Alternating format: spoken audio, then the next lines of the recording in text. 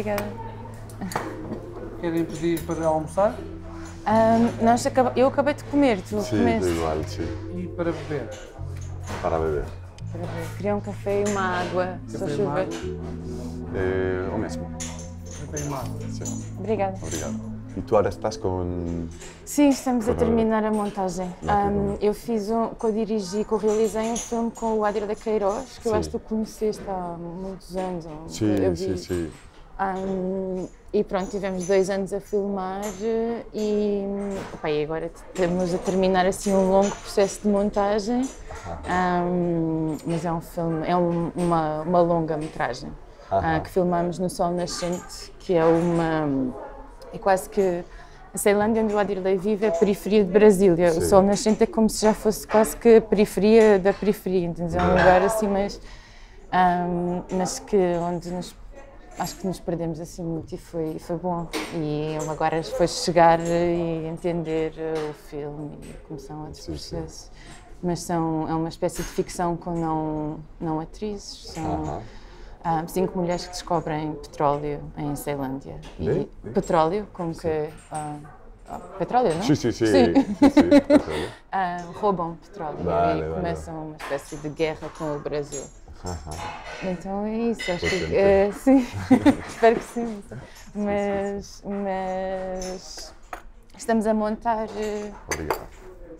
como- Estava a falar com ele, não é? Estamos a montar três pessoas. ahm, quer dizer, quem, tá- quem é a montadora do filme é Cristina Amaral, que está em São Paulo, depois tem o Adriano que está na Ceilândia e eu agora que estou aqui. Então era para ficar todos no mesmo lugar e por causa da pandemia acabou por ser uma coisa mais, mais afastada, mas, mas agora vou para lá e vamos, vamos mesmo sentar e terminar e pronto. Ya, ya, ya. Sim, sim. ¿Y qué hacemos? Intentamos. Vamos jogar o nosso jogo. Ahm, como é que um, um realizador é moralmente responsável pelos seus filmes? É bem fácil de responder. Ahm, sempre, não? Yo creo que es, sí, a- aparte que mm, idealmente eh, la idealmente o incluso inevitablemente la, la moralidad de un director se refleja o debería reflejarse en, en la propia película, ¿no? Y, y- y el, el director, mm, o sea, él como persona está identificado con, con su obra, ¿no? Entonces yo creo que... Sim. É difícil de entender porque hum, acho que moralidade não quer. É que em inglês está morally responsible. Yeah. É que moralidade não quer, não, não quer necessariamente dizer que é moralista, não é? Tipo, eu acho que eu tento não ser nunca moralista, mas sinto talvez uma responsabilidade moral partilhada pelas, pelo aquilo que é a política do filme, ou por aquilo que o filme já tem para a forma como existe na, naquela, na realidade que a gente filma e na- nas outras onde, onde a gente vê os filmes. Sí, creo que varía un poco en función de la ficción o el documental, ¿no? En, en la ficción el espectador entra uno- en unos códigos en el que puedes comprender que es una construcción, aunque moralmente también debe- debería reflejar eh, los, los valores, pero en el, en el documental o en el híbrido hay que extremar, creo yo, todavía más la precaución, ¿no? porque eh, el- la, la la relación que se establece con el espectador es, es como de que todo es realidad, ¿no? Entonces, esta supuesta objetividad ¿no? de que estás retratando. Y cuando se juegan los límites entre, entre la ficción y el documental, donde ese pacto con el espectador cambia, hay que extremar todavía más, creo yo, ¿no? Sim, não, isso me parece muito interessante porque é, tipo, é como quase que se nós tivéssemos a responsabilidade moral de não ser moralista, não é? é de- sí, sí. Como é tu claro, vês? por Sim. moralista no lo entiendo por Sim, sim, sim, não, mas é tipo, quando a gente começa a fa- falar de moral, eu acho que é um bocado nesse jogo que estás a falar, sobretudo quando trabalhamos entre a ficção e o documentário, que parece que nós os dois estamos a fazer um pouco, tanto com o teu filme ah, como com o que eu estou a fazer, que é essa, essa questão de tipo como é que tu constróis um espaço ah, que é ficcional para chegar numa outra realidade, não é? Mas ao mesmo tempo como é que tu constróis, quase que constróis junto um espaço de jogo para depois não o controlar ou para depois não impor, porque a mim o que me que nunca me interessou assim fazer ficção, ficção, porque hum, porque, porque nunca me interessou ouvir eh, pessoas repetir aquilo que eu, eu escrevi ou que eu falei. Ou, um, y então é um pouco mais isso, desculpa. Sí, no, no, y la, la, la apertura y lo, lo, el asombro que hay al trabajar con la, con la realidad que, que se despierta es, es, mucho más emocionante ¿no? y, y, más también enriquecedor ¿no? de, de alguna manera. Ah, pero no lo que se suele decir también de cuál es la responsabilidad de un artista, ¿no? ¿Cuál es la, podría ser la responsabilidad moral de un artista, ¿no? Y, y ahí una de las cuestiones políticas, sociales, es la de guiar el foco de atención, ¿no? eh, que es casi ¿no? de guiar el foco de atención hacia las problemáticas, ¿no? hacia una problemática determinada. ¿no? Hay, hay una película de, de, un amigo que está en la competición también, eh, El año del descubrimiento. Uh -huh. no sé, la, Luis López Carrasco, Luis López Carrasco uh -huh. sí. No. Que también él, él, trabaja en una cuestión que podría llamarse o, como documental de época, ¿no? O sea, grabar, eh, juega como, con una doble temporalidad. Entrevista, pues en un bar, como si fuera este, toda la película es una tres horas de película eh, y son conversaciones de la gente en el bar, pero que son entrevistas muy, muy trabajadas. Y tú no sabes en qué tiempo está transcurriendo la película. Juega que es el año 1992, pero también es la actualidad. Entonces, lo que hace es como que se crea un paralelismo entre las problemáticas que había entonces, que muchas continúan siendo iguales a día de hoy, ¿no? Explotación laboral, tal, tal. Y bueno, pues esa también es como, ¿no? Una de las responsabilidades del, de la artista es esto de guiar la atención, el foco de atención medi social, mediático, hacia las problemáticas de, de la época, incluso si es una película de época, cómo puede repercutir la reflexión sobre ese acontecimiento hoy en día, ¿no? Para, bueno, crecer, construir como sociedad o, o personalmente, ¿no? Pensaba en, en la, la, resistencia, ¿no? Yo creo que mucho del, de, del cine, del arte en general, es ofrecer un espacio de, resistencia frente a, la, a lo homogéneo, la, en este caso la, globalización o digamos eh, la, la, tierra plana del que en este caso para mí es luchar contra la actualidad de alguna manera, ¿no? que es un poco lo que se trata de imponer.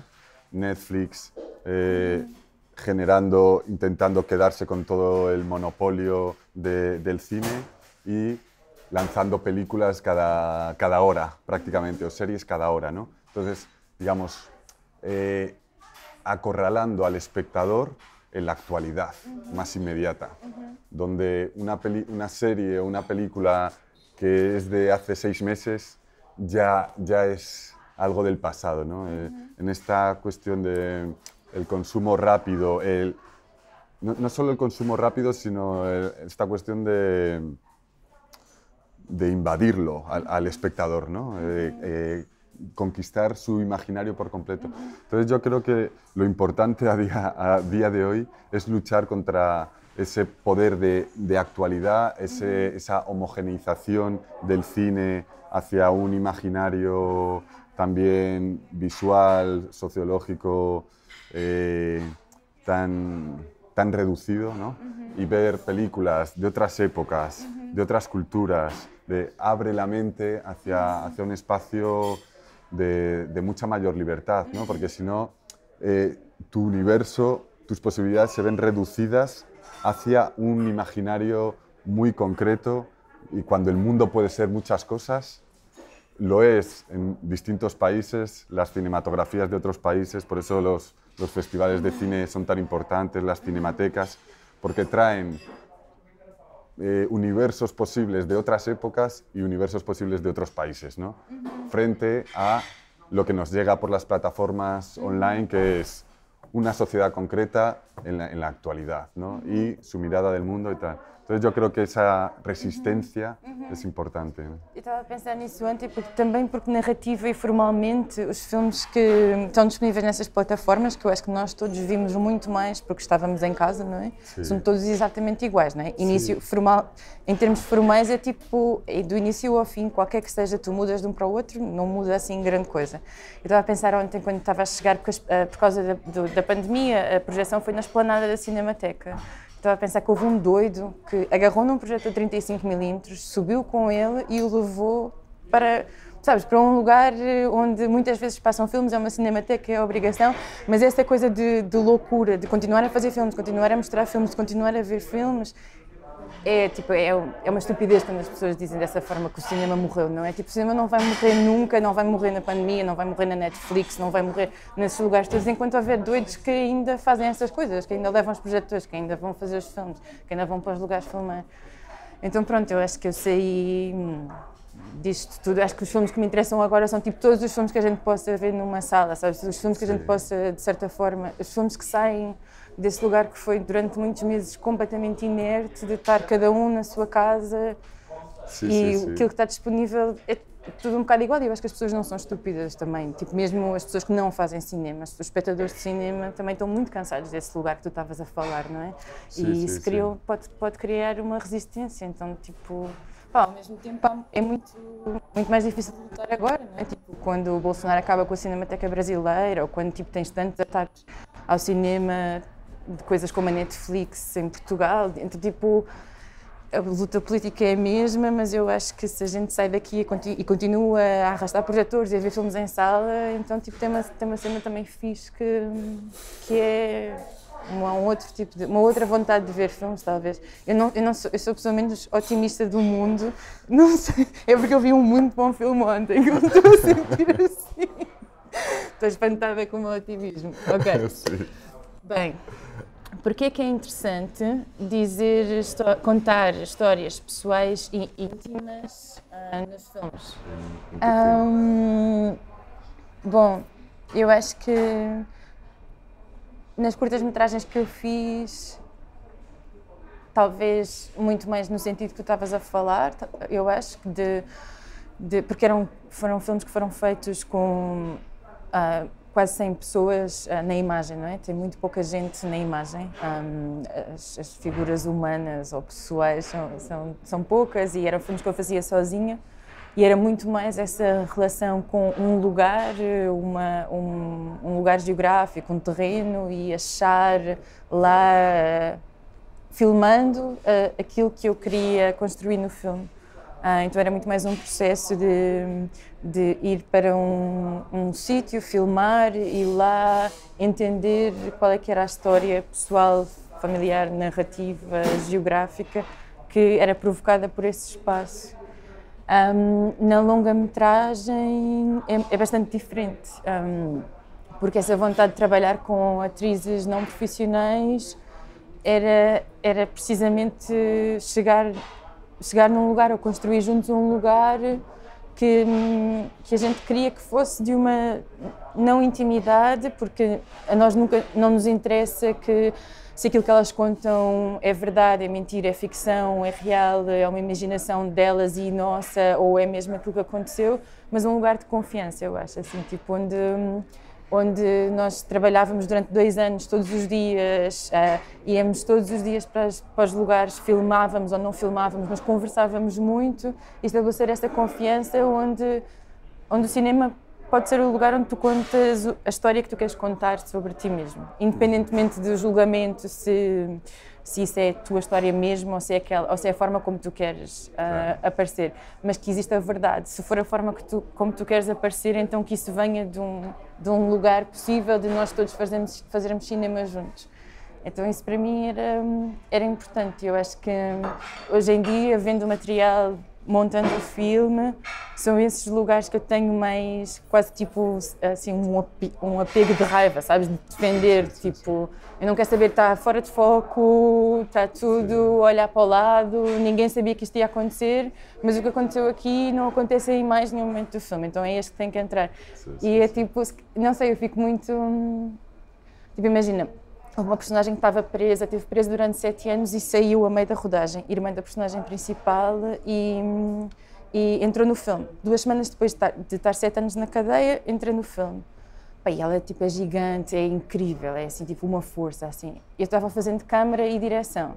E no dia em que ela, primeira vez que nós falámos com ela, eu estava cheia, eu estava com muito medo, eu estava me sentindo muito intimidada, porque nós tínhamos ouvido falar muito dela. Quando ela chega, ela é assim, tipo uma coisa assim, e eu não conseguia fazer foco. E é uma cena tipo, completamente estúpida, porque é um dia lindo de filmagem e está tudo, e ela está a contar coisas assim, tipo, incríveis e, e ela é uma atriz, ela é melhor, uma das melhores atrizes que eu já vi na vida, então, tipo, claro que entrou imediatamente no jogo e vai e faz e não sei o quê. Sim. Pá, está tudo fora de foco. Porque eu estou tipo, ela mexe, não sei, eu não consigo antecipar os movimentos dela, estou perdida, estou muito impressionada com aquilo tudo.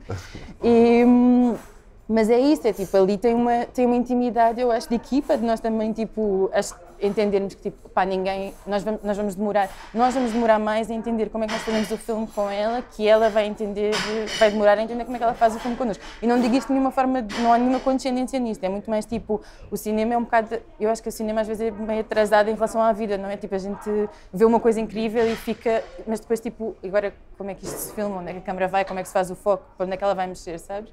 Então, eu acho que essas são, esses são aqueles momentos de intimidade que eu acho que eu, que eu procuro e que me interessam, onde toda a gente está um bocado assim fora do lugar. É, é isso que eu, que eu busco. Tipo, ninguém está confortável, está tudo fora do lugar e está tudo a tentar entender como é que a gente faz isto juntos. Assim. Sim, sim. Acho que é mais por aí. Mais do que chegar numa, sabes, naquilo que eu acho que é um momento em que realmente alguém se abriu para nós. Assim. Sim, sim. Sí, digamos, la, la verdad se revela quando sim. estás mais. e nessa tensão também das coisas, né? Sim, tipo que tu. Sim, que é um lugar em que, sei lá, que ela, ela se sente intimidada, eu imagino que se sinta claro. intimidada porque de repente tem uma equipa de cinema, tudo com câmeras apontadas a ela, mas a gente também se sente intimidade de, de repente, tipo, uau, tipo, esta esta mulher é incrível e sim, sim, agora sim. o que é que o filme faz, entende? Tipo, onde é que a gente vai? O que é que, o que, é que muda aqui? Então, eu acho que esse, esse é assim, os lugares mais pessoais que eu acho que a gente acha nas coisas. No, y, hay, y hay veces también que la, al, al propio espectador, cuando hay una imperfección, una irregularidad, también le da una veracidad, ¿no? Porque sí, sí, sí, cuando está todo muy... Ah, estás a fazer sentir melhor, lá está sí. tudo fora de foco. No, no, estás a ser gentil. Yo en general, eh, bueno, por un lado trato en mis dos largometrajes, Costa da Morte y Lua Vermella, lo que he tratado es sobre todo de profundizar en la identidad cultural gallega, ¿no? Eh, por un lado desde cómo se forma la identidad de un paisaje, ¿no? a partir de, de la historia, de, del trabajo, de los mitos, las leyendas, que es un poco el caso de esta, de esta película. Y sí que trato de, de llevar al espectador a un estado de intimidad, ¿no? de, intimidad eh, casi como de meditación, ¿no? un estado de introspectivo. ¿no? Pero lo llevo ahí para, para bueno, para desde, desde la belleza de la imagen, desde la contemplación profunda de la imagen, tratar de alcanzar pues, momentos de, de revelación, ¿no? digamos. Pero no trabajo di directamente con mi, mi propio, eh, mis propias historias íntimas. Pero creo que, claro, hay cineastas para... Eh, hay, hay, esta intimidad y luego que, hay, que debe, debe existir toda clase de y, el trabajar muchas veces con sustratos muy íntimos de, tus emociones eh, ayuda un poco a, conectar y a comprender procesos psicológicos con que el, espectador se puede sentir identificado y, sacar un, aprendizaje o, una emoción, simplemente. Yo en, mis películas o el cine que procuro hacer, el punto de partida siempre es explorar un, un aspecto formal, ¿no? Eh, una, buscar nuevas formas cinematográficas, ¿no? humildemente, ¿no? pero eh, esa es el, mi voluntad inicial. ¿no? Eh, con Costa da Morte era esta cuestión de la distancia, ¿no? en plan, ¿qué, ¿qué sensación emerge para el espectador de trabajar con una doble distancia perceptiva? ¿no? En la imagen lo vemos alejados, pero en el sonido, ¿qué sensación puede despertarse en el espectador de, de ese encuentro, ¿no? entre inmensidad e intimidad? ¿no? y, y en este caso, en Lua Bernella, lo que exploro es, lo que quería explorar es, vale, a partir de situar a figuras paralizadas, ensimismadas en el paisaje, ¿qué narrativa evoca? ¿Qué, qué, qué historia puede imaginarse el espectador a partir de... Un poco, me basaba sobre todo en los cuadros de, de Hopper, ¿no? Estas figuras solitarias, pues que en un, en un, café como este podríamos imaginar sentado en una butaca a alguien ensimismado le, o le, leyendo un libro, ¿no? ¿Qué narrativa evoca? ¿Qué historia nos imaginamos? ¿Qué le ha sucedido antes? ¿Qué le va a suceder después? ¿Qué, ¿En qué está pensando ese espectador? Y en eso me quería trabajar en esta película, ¿no? Eh, que es también un poco una, una, experiencia del tiempo distinta. ¿no? Por, el, por, un lado está el tiempo interior, el tiempo de la conciencia de este personaje, y por otro lado está el tiempo exterior del, del paisaje, ¿no? que eh, Gastón Bachelard lo diferenciaba entre el, el, tiempo horizontal, que es el tiempo que, es, que, fluye con el viento, que fluye con el mar, y el tiempo vertical, que es el tiempo de la revelación poética, de la conciencia, así. Y entonces, claro, sí, son íntimas, busco una intimidad, pero desde estas, estas propuestas formales que... Epa. Estamos a falar há quase uma hora. Sim, claro, eu não sei.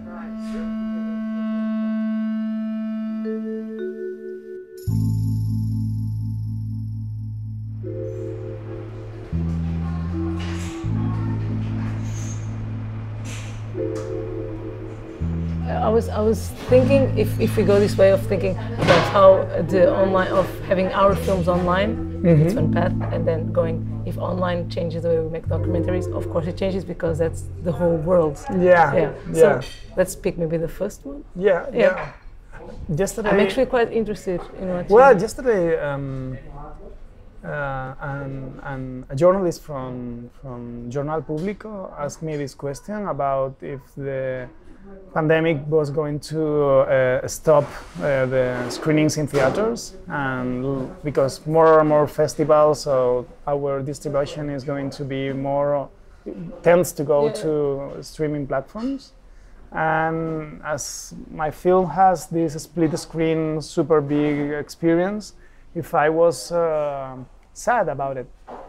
And i, I really I'm, i don't understand very much uh, this these issues. I mean, of course, um, the films I make are conceived, and uh, especially the sound is conceived for big screens.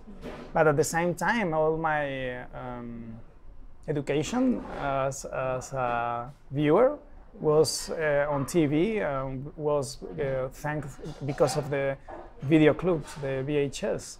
So I, I started to love in cinema, watching films uh, which were uh, translated, I mean, dubbed in Spanish, in Spanish uh, yeah.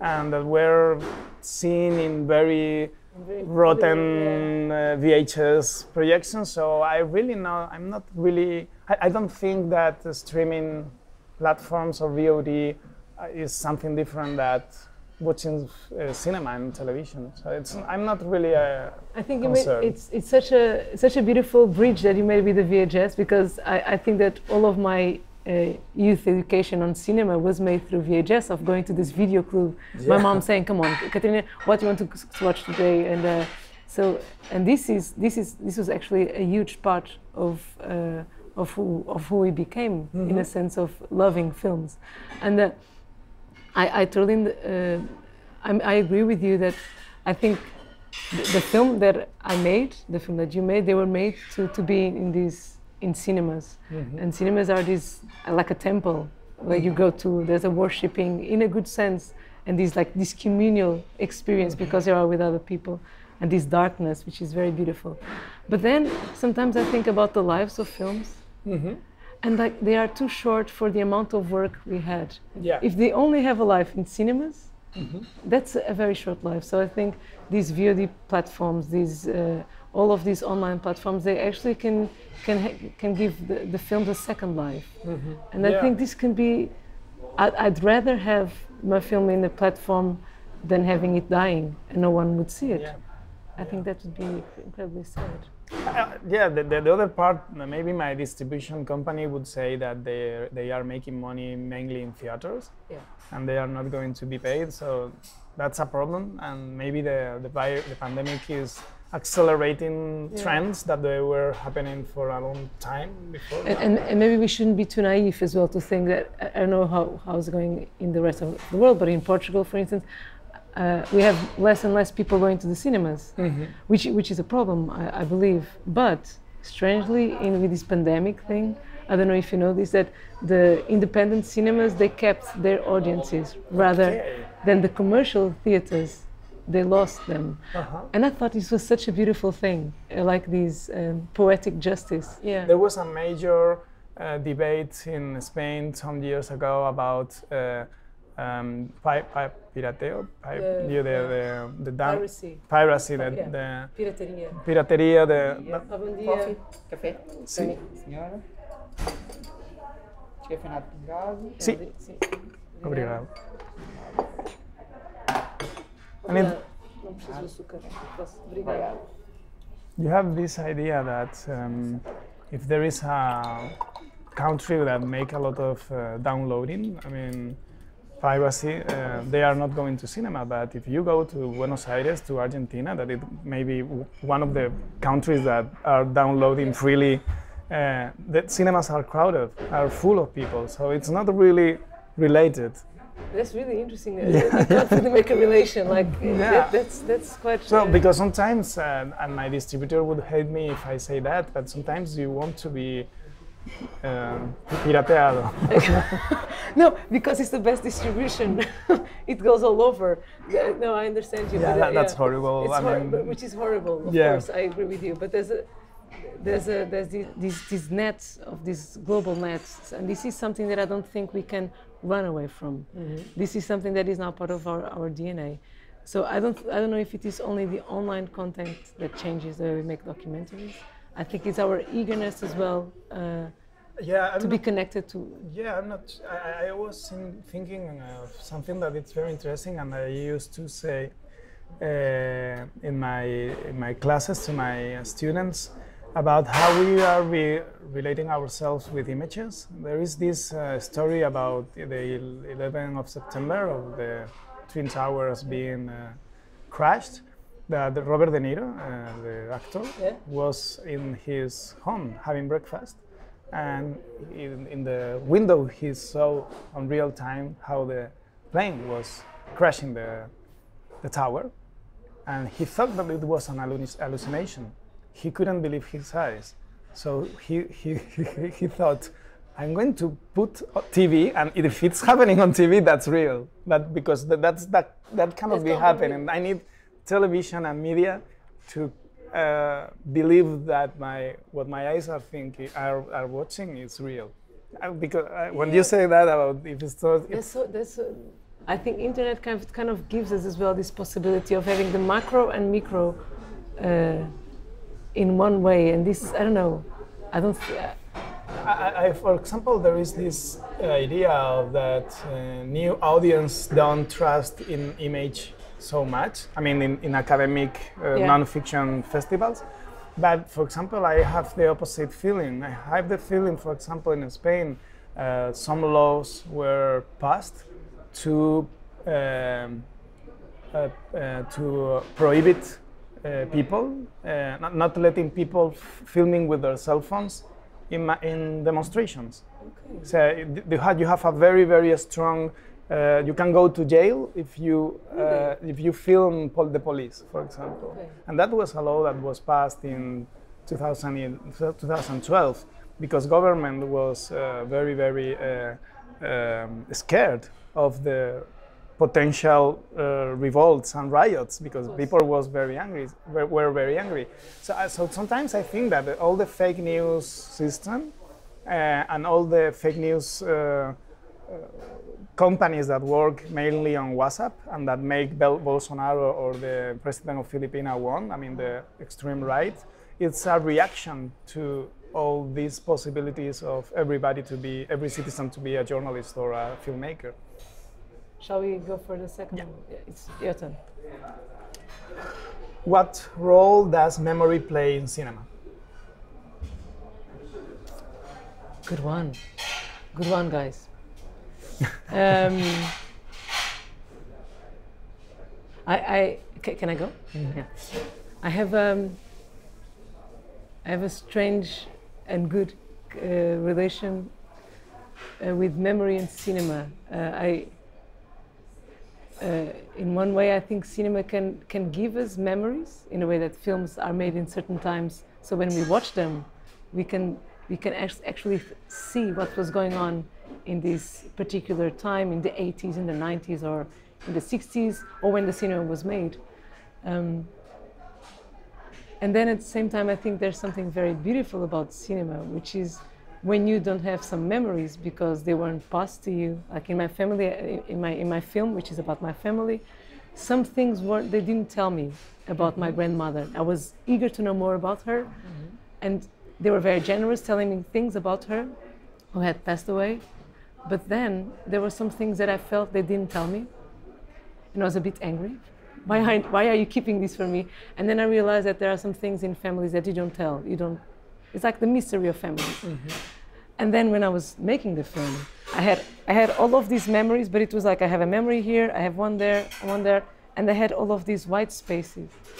And what what I found about memory in cinema is that you know what, if you don't know, maybe you can recreate, you can invent it. Mm-hmm. So what I think is very beautiful about cinema maybe is that you can keep memories and you can invent memories once you don't have them. And uh, I don't know. So for me, it was is this very flexible thing that cinema allows you, uh, and maybe to, to bring you some consolation about uh, some things that uh, that you don't know. You know. And you, and you, you discriminate. I mean, as a, as a viewer, you can discriminate which memory has been invented or not, or is No. like No, you can't I mean, maybe you can, but I don't think so. Um, because I think something very interesting happens with memory, which is a physical thing. When you tell a story, you always change it. It's something that happens in our hippocampus, which is a place where memories are, are made. Uh, what happens is that once you tell the story, your, your brain is, is retelling it, but is adding things or is taking things out. yeah. And this is a, a very beautiful thing, which happens, I think, as well in cinema when you are doing a film. You add things, but you take things out. Even if you are doing a, a pure documentary, you are frame you are framing this, but you are not framing the yeah. rest. Yeah, So you absolutely. always take things out, even with memories or stories that you know pretty well. Yeah. So- yeah, I, I, I, I read uh, in uh, Enrique Vila-Matas' uh, uh, book, which Yeah. is called uh, París no se acaba nunca, Paris never ends. Mm-hmm. That I don't know if he was referring Borges to, he said something which is connected to that. That when we remember something, we don't remember the, the moment we remember. We remember the last time we remember that moment. I mean, it's like Yeah. yeah, you know, you you you have uh, you went to school when you were four, and you have been remembering that for your whole life. But when you remember it, you remember the last time you remember it. So it it for, us- it's it changes uh, a lot. Yeah. Um, and, and about memory, I have uh, different. As, as the topic I developed in my last film was a collective society issue. It's not about my intimacy or my family, but in a way it, it was because it's about the town where my grandparents lived and where I usually went to as a child. Um, I, for example, I, I, I started the film thinking that I could be, uh, make some fictions about that moment, but at the same time, I have this as, as the topic that I was uh, portraying was so historical and huge and conflictive, and it creates so many. I mean, nobody had spoken about it. It was a completely forgotten event in Spain, the burning of the parliament of Murcia. Uh, I felt uh, very responsible about how to deal with the characters and the documents and the testimonies. So, even though you're right, and in edition, even if you are doing nonfiction, the, the, the framing is also a representation and edition is also a fiction moment. I mean, because you can do whatever you want with the uh, real uh, footage. Um, I was uh, very, very uh, conscious of trying not to be, uh, trying not to invent anything because I have to in, try to respect not only uh, every character, but I, I, I, I al- al- also um, forbid, no? uh, prohibir, uh, uh, myself and my editor sometimes doing jump cuts because we wanted to cut everything, uh, uh, uh, uh, a speech of one character to try to, in a way, um, uh, respecting the, the, the dis- his or her discourse. And and how was how was the reaction when people when people from Murcia saw the film? I, the film has um, been uh, premiered still in Spain, so only one of the characters watched the film because he was also the advisor of the film, and he went to Rotterdam in the premiere, and I think he was. I mean, Because that's a second layer as well for the film itself. yeah, people to watch it. Yeah, but for example, everybody. I mean, the film is about discussions of people between their lives and their jobs and a lot of aspects, and it's like a big portrait of the working class of the present. And then you understand that the present is connected to something that happened very violent in 1992, and it happened in Spain, but it, it's like global. So, uh, for example, they knew every time what questions we were going to ask or which topics we were going to to to bring, and this is about uh, memory because at the same time the shooting was a moment of collective memory because in the discussion discussion uh, things happened that they weren't told before. But I had a list of things that cannot be edited because sometimes when we were finishing the shooting, some of the these workers or unemployed people and neighbors said, "Oh my God, I said something that if this appears in the film, I'm losing my job." So I was very aware that the what was going on in the film could affect directly these uh, lives of common people. There's, there's, a, there's a Portuguese film called called um, Torre Bela, which is about the agrarian the, the, the land reform in Portugal after 74, after the, the revolution. Um, there's a, uh, the land reform and uh, and um, there's a film made uh, um, about these moments and uh, and then there was a, another director, José Filipe Costa, who made a film called The Red Line, uh, the Linha Vermelha, uh, about the making of this film. Okay. And so Filipe Costa went to see what stayed out of the film. What the, the director, who is a German director, he left out. What, what did he left out? And what he listened to, that, uh, because there's a moment that the people don't, they are, they are going to take over um, uh, the house of the, of the master of the land. And, um, and what is what happens in, in the in the film of Torre Bela is that we only see them going inside the house and uh, playing the piano, and it's it's very beautiful, very touching, and it's very, very very sad at the same time because it's a it's a very moving scene because you see these huge richness and people who have nothing. So it's, it's it's very brutal. What José Filipe Costa shows us is that these people maybe they didn't go to, want to go inside, but he has the the, the director saying that so. But are you not going to go in? Come on, come on! Are, don't you want to go in? Yeah. And we only came to know about this because Filipe Costa made this film Okay. what is it kind of connects with what you are saying about what stays in the film will what what the director what Torre Bela did is he left out oh thank you he left out all of this Yeah. so that we only see uh, Yeah. his Yeah. narrative Yeah. so what Filipe Costa says is that maybe if the director didn't say to go in maybe they didn't have to go in Yeah. and this Yeah. is this is a big thing because this stays as a collective memory in Portugal for years Okay. Okay. Okay. so it's It's inter- yeah. it's a big thing. So directors maybe have a, a as you say, of course, a, a huge power in our collective memory. yeah. Uh, and now I want to see that film. so- What are your perspectives on the plasticity of the image? What are your your perspectives on the plasticity of the image? I started to do th- this film and, and even the, the, the other one, my, my short one. I started, I was going to make a documentary. It was going to be a documentary about this woman that I didn't know, about my family. And then after these conversations, I started to realize there were things that I didn't know. Mm-hmm. And I realized as well when, when my uncles and my father were speaking about their mother, to speak about their mother was to speak about themselves as well.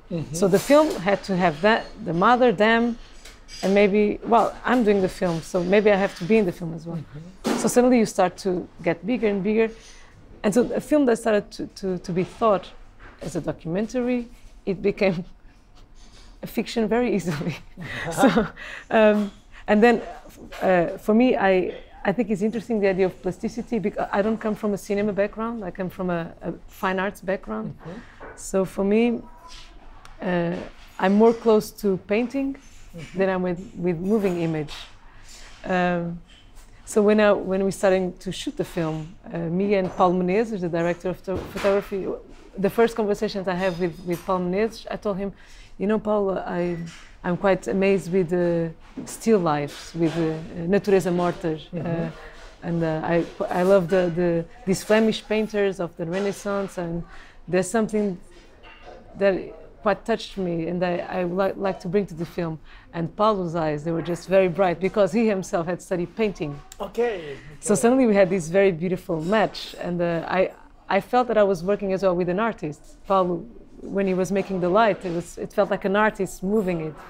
So what, what I, suddenly in the film you have all of these tableaux vivants uh, where things happen, but they come from these, uh, the basis of it is painting.